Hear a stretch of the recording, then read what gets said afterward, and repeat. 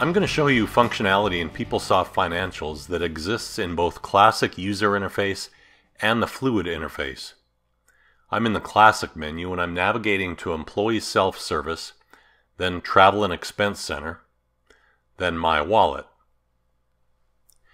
In normal Classic behavior, we're usually presented with a method to search for the record we're after. In most components, the search dialog is displayed based on the search record in the component. I want to see my record, so we'll use the employee associated with the Opera ID that I signed in as, KU0042 or Kenneth Schumacher. This brings up a page to define filter parameters. Let's put a range starting at 2004 to bracket the demo data for this employee. Press search and we see a list of transactions. I can select any one of these to see the detail, make changes, save, in most classic pages, you either press Next in List or you press Return to Search, that button to go back to the filtered list. So the first thing I want to point out is how many steps you go through to get to the information you want to see. We had this nested or hierarchical menu to wind our way into the component we wanted to access. Then we selected the record we wanted to see. This is pretty typical of most classic pages within PeopleSoft.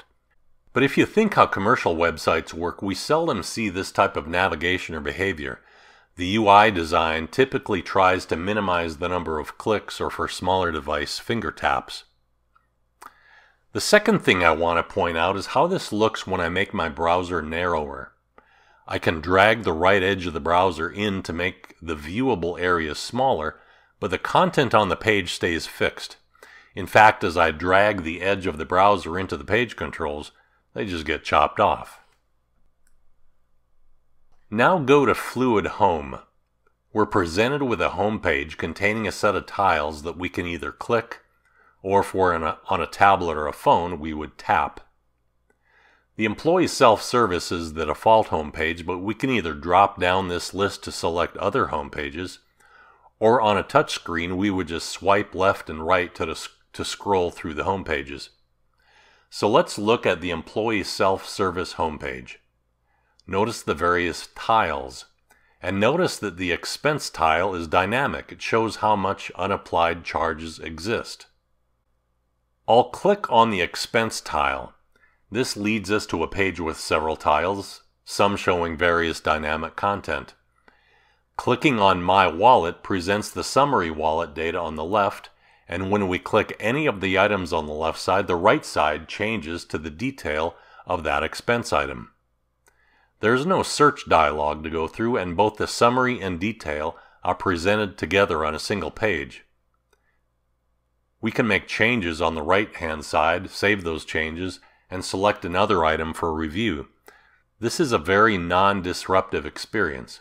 I don't wait for a different page to be launched, and we don't have to return to the previous page. Everything is right here.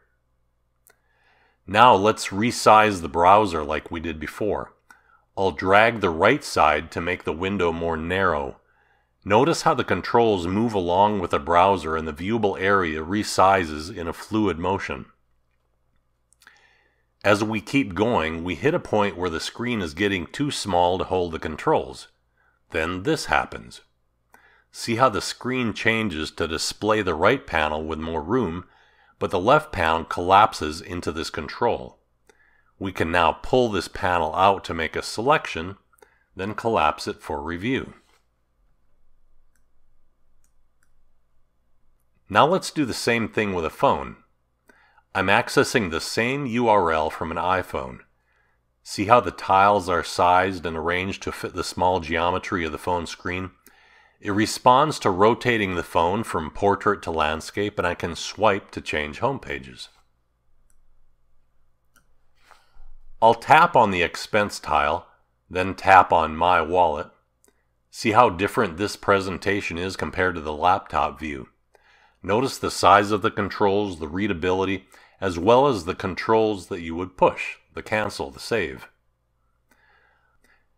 Again, I want to point out the same two things the number of taps on a mobile device to get to the information I want to see. Didn't take me long to get here and it's very intuitive and smooth with how I navigate around. Second, it's responsive.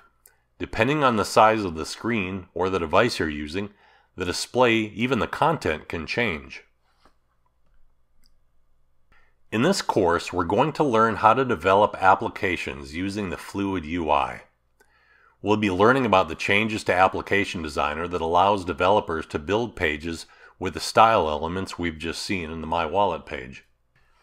We'll learn a lot about HTML and CSS, especially in terms of how it relates to fluid pages built in PeopleTools. We'll learn about different search strategies, responsive strategies, coding patterns. I'll present the material in a progressive way, starting simple, getting complex, and we'll go fast. You won't have to wait until the end of the course to begin using these principles, and you won't have to spend hours at a time learning. I'll be teaching the concepts in sections, each containing lessons that can be easily consumed in a few minutes, with all of the materials you need to reference the concepts later. By the time you complete this course, you will have all the knowledge and skills needed to build beautiful, functional, usable applications using the Fluid User Interface.